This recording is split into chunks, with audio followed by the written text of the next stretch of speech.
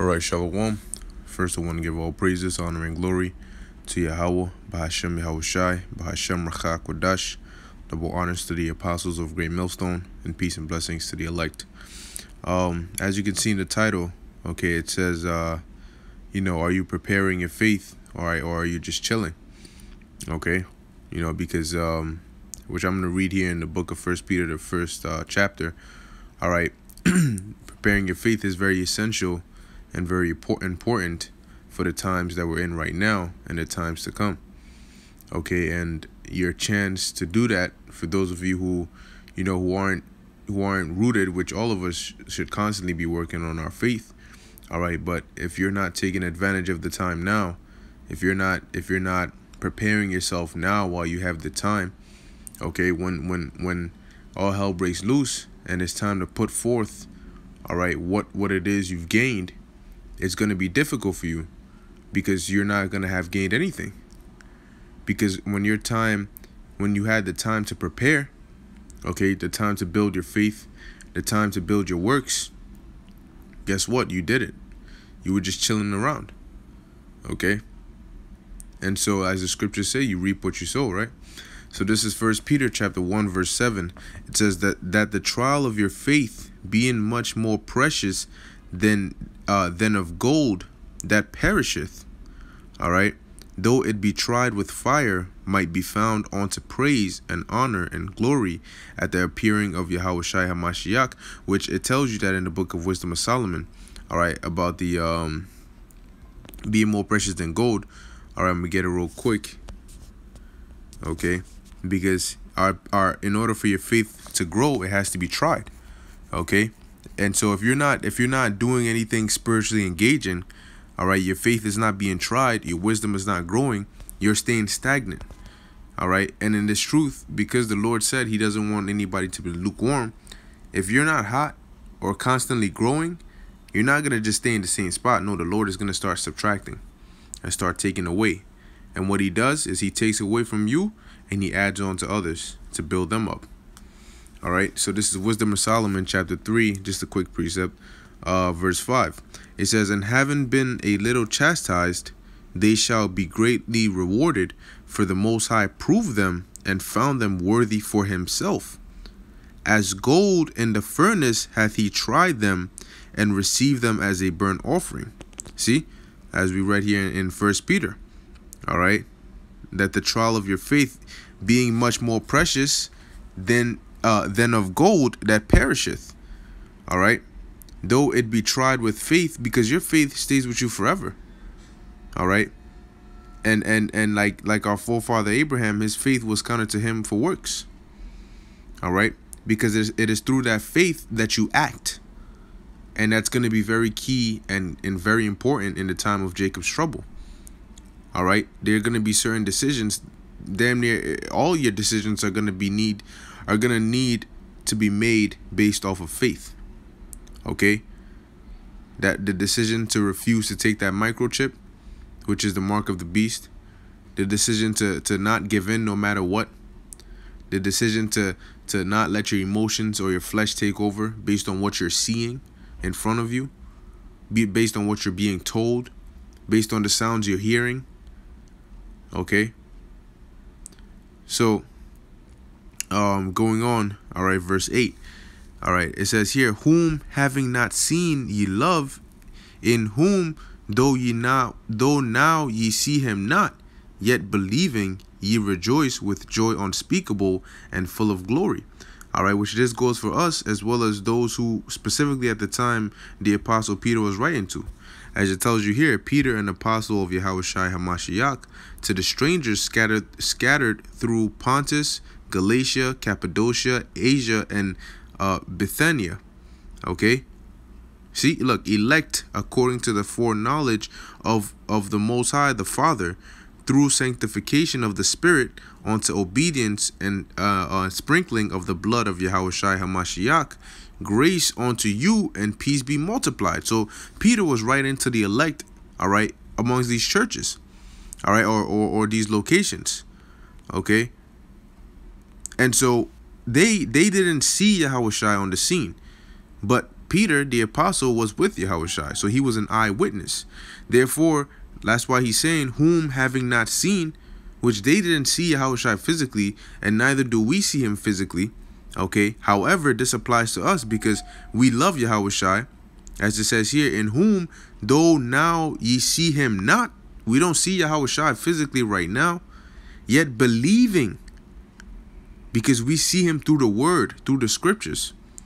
All right, we see Yahushua through his acts. We see him through through the, the, what is written of him, as the scriptures say. Uh, uh, uh, Lo, I come in the volume of the book. It is written of me, roughly paraphrasing, but that was that is talking about Yahushua, the word of the Most High. All right, so it says, um, yet believing ye rejoice with joy unspeakable and full of glory. Okay, and is this not something that we, we joy and, and, and rejoice in? Okay, especially when we see these prophecies come to pass. That gets us the most excited. Why? Because we have that spirit of Yahweh Shai. Because what is the spirit of Yahweh Shai? The spirit of prophecy. So it says, receiving the end of your faith, even the salvation of your souls. Because we need to have faith. What is faith? Real quick, and we'll come back. Hebrews uh, 11 Verse 1 Now faith is the substance of things hoped for, the evidence of things not seen. So, our faith, all right, and, and hoping to be delivered, all right, from this destruction that's coming, and hoping to gain the kingdom, and hoping to be crowned, and hoping to see Yahushua again, okay, guess what? Like it says back here in, in, in First Peter, it says, receiving the end of your faith, even the salvation of your souls. Because when we get saved, when we're in them chariots, we're not going to need the evidence of sub substance, substance not seen because we're going to see it. The scriptures tell you why doth a man hope for, all right, hope for, for, for what he seeth. Okay, uh, let me get that real quick. For what a man. Yep, uh, Romans 8, verse 24.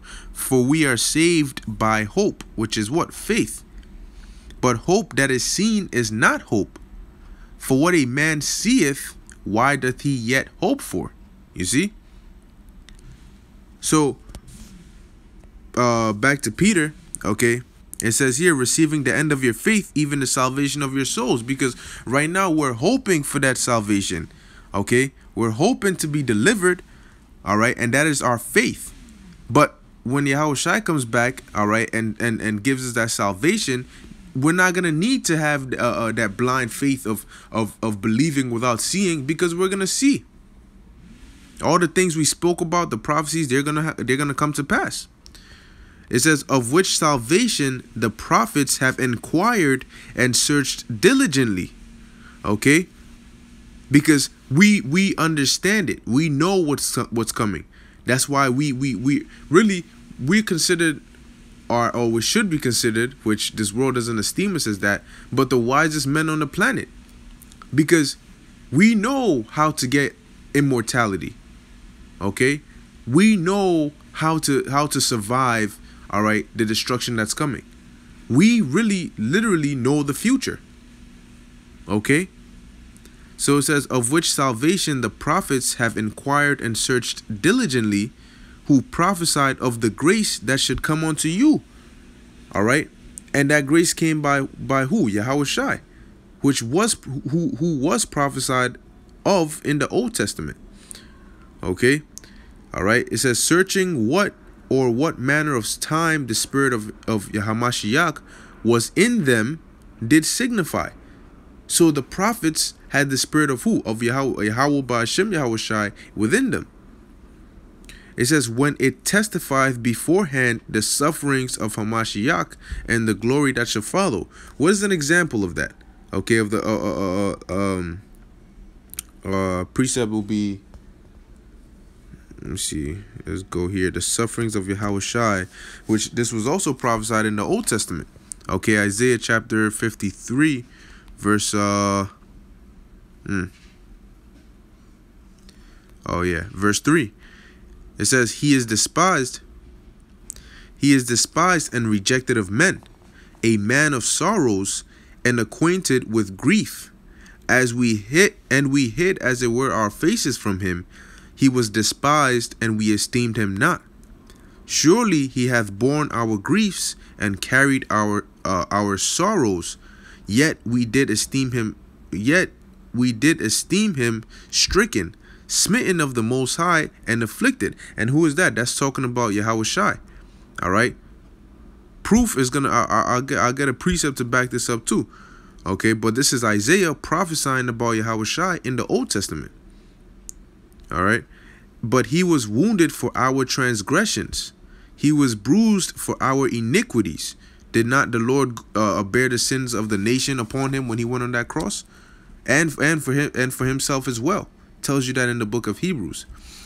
All right. And the chastisement of our peace was upon him, and with his stripes we are healed. All we, like sheep, have gone astray. That's why when the Lord came, he said, What? I am not sent but to the lost sheep of the house of Israel. So when Isaiah was prophesying, he said, What? All we, who was that? Israelites, like sheep, the lost sheep, have gone astray. And that's why Yahweh Shai had to come and redeem us back to the Father. All right. We have turned every one to his own way, and the Lord hath laid on him the iniquity of us all. Okay? He was oppressed and he was afflicted, yet he opened not his mouth. He is brought as a lamb to the slaughter, and as a sheep before uh, her shearers is dumb, so he openeth not his mouth. Because the Lord didn't resist it in the sense of, oh, no, I ain't with this. You know, when when when he was getting accused, okay, when he was brought before the magistrates, when he was brought before Pontius Pilate, Lord, Lord, Lord, he was he was quiet. You know, when they asked him questions, some of them he would answer, sometimes he'd just be quiet. You know, thou saidest, you know, and and and he wasn't resisting it, fighting it. All right. He was obedient unto death. Okay, because he understood that for prophecy's sake, he had to go through it. Okay, but here it is. After all that, you got people who turn around and talk smack about about Yahweh Shai, talking uh, talking about uh, uh, he didn't he didn't really turn water to wine. His miracles weren't really miracles; they were just you know they were all symbolic and parabolic. You know, you know, and when when when it says the mother of Yahweh Shai told him asked him to turn the water to wine to wine, really it was just the nation of Israel asking him for a doctrine. Really, but here is saying that he was prophesied of in the Old Testament to come and fulfill, right? Fulfill what it was that he was prophesied of to do. So is that not a part of the doctrine? You know? But hey, it, that that that's that's another another topic for, you know. uh continuing First Peter chapter 1. Okay, where was I? Uh um Oh, right here, verse 11. Yeah. All right. Searching what or, or what manner of time the spirit of Hamashiach was in them did signify when it testifieth beforehand the sufferings of Hamashiach and the glory that should follow. Okay. And um, it was in that same book of Isaiah. When you read in the book of Acts, it tells you when Philip went and met that Ethiopian, all right, uh, the eunuch, that he was he was reading the book of uh, uh, uh um he was reading the book of Isaiah about that, and he didn't understand what the scripture meant or who who who it was talking about. And so I uh, uh, Philip had to break it down to him. All right, that it was talking about Yahweh Shai, not Isaiah himself, but Yahweh Shai, which he was an Israelite. You know, the uh, uh that that eunuch was an Israelite who got baptized. All right, and he believed. Okay, so you can't just take, you know, when when you read something, you have to read it, look into it. You can't just, oh, Ethiopian, yep, that means uh, Gentiles and heathens are, are, you know, they're part of it now. Okay. Um. So continuing on, um, it said verse verse twelve, unto whom it was revealed that not unto themselves, right, but unto us, they did minister the things. All right, because you got to keep in mind there's certain scriptures that were written all right that when the prophets got the vision and wrote it down they didn't even understand it. Now it was revealed to them what it was that was going to happen but they didn't understand it. They didn't have the breakdown to it all right? It wasn't until later on all right that the, the, men that came after them all right or you could say they came back in the reincarnation, uh, uh, were to come and read those same scriptures that were written down and to break them down. Okay? So it says here, unto whom it was revealed that not unto themselves, but unto us they did minister the things because it was prophecy. It was meant for the future. And it tells you in Romans 15 and 4, let's get that real quick. All right. What was written, right? Romans 15 and 4. For whatsoever things were written aforetime, meaning in the past, were written for our learning. Whoa, but we're, we're in the future. See? That we through patience and comfort of the scriptures might have hope. So it was revealed unto them and they wrote it aforetime, but it was written for our learning. Okay? As I'll continue to read here. Um, verse 12. Unto whom it was revealed that not unto themselves, but unto us they did minister the things, which are now reported unto you by them that have preached the gospel unto you with the Holy Spirit sent down from heaven, which were who? The apostles and, and the disciples, all right, and, and the men of the Lord, which were uh, preaching and teaching at that time and also now. Okay? Which things the angels desire to look into. Okay? because the work that we're doing is is literally the greatest work above all all right in the sense of in the sense of we're doing the greatest job on earth all right but angels the angels it's not it's not their lot to come down here and prophesy and do what we got to do okay? When it tells you in the book of jude all right the angels that kept not their first estate that's that's the elect okay? It would it, it's it's it's the lot of the elect was to go through what we're going through now all right, to, to be in this chain, these chains of darkness and to prophesy, all right, and to preach this word, okay, specifically the 144,000. And you also have the rest, all right, of the elect, okay? But it's not, you, you know I mean? The angels have a different lot to play, all right? However, the things that we're, the thing, the work we're doing is that great that it says which things the angels desire to look into, okay? But once again, it's not their lot to do that, all right? It says, Wherefore gird up. Hey, you have some angels that just remain in the presence of the Lord. That it tells you they just they they they they they uh you have the they they they cast I believe if I'm saying it right, they take off their their their their uh their crowns and cast it before the Lord constantly. You have angels that are constantly singing in the presence of the Lord, constantly praising his name, and that's their lot to do that. So it says, Wherefore gird up your loins or gird up the loins of your mind. All right, be sober and hope to the end for for for the grace that is to be brought onto you at the revelation of Yahweh Shai HaMashiach. So right now you're supposed to be preparing for that because when all hell breaks loose, man, it's time for action. All right, it's time to put that practice to play, man.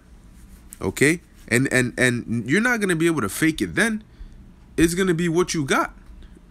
okay so if you're preparing your faith now you'll be good if not look man you, the lord isn't the lord instead of adding he's going to take away from you even that which you have so if you're chilling not doing anything you know you you there the scriptures tell you to give all diligence to make your calling and election sure so that doesn't mean just oh um i'm gonna i'm gonna start you know maybe i started off and I'll do a video a day or I'll do this or I'll do that and and I'll get comfortable with it and I'll just stay there. No, you have to be constantly improving. Okay? Whether it means studying, all right?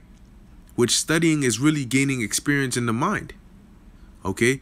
So whatever the case may be, you have to constantly abound, stay occupied, set spiritual goals for yourself. That's how you give all diligence because you're constantly, constantly practicing, constantly crafting or constantly, you know, going at it to perfect your craft. That's how you stay improving and you don't stay stagnant. When you stay stagnant, it feels like nothing is moving and everything is getting boring and there's no point in what you're doing. So you end up stopping. Okay? But we don't stop until the revelation of Yahweh Shai. We don't stop until we're in them chariots, man. That's when you can take a break. That's when you can have a sigh of relief. It says, as obedient children, not fashioning yourselves according to the former lusts of your ignorance, the wickedness used to commit break going off before before being conformed and coming into this truth. All right, you you you gotta you gotta change your mindset and change all of that. and put away all those former lusts because you did that out of ignorance. Getting crisp ass lineups, shaving your beard off, eating pork, all those different things was out of ignorance. Now that you know better, the Lord is going to punish you in a more severe way. It says, But as he which hath called you is holy, so be ye holy in all manner of conversation. All right. The way you carry yourself, the things you say. All right. That's the mindset to be in, man. But I'm, uh, I'm just going to get this last precept real quick. Isaiah chapter 33, verse 6. And wisdom and knowledge shall be the stability of thy times and strength of salvation. That's what we're looking for, right? The fear of the Lord is his treasure. So now is the time to continue to gather and add on to that wisdom and knowledge. All right. And with that, add on to your faith and add on to everything else to build yourself up, man. Okay. Like in for those who play 2K, you know, you got skill points, you know, to improve your different, you know,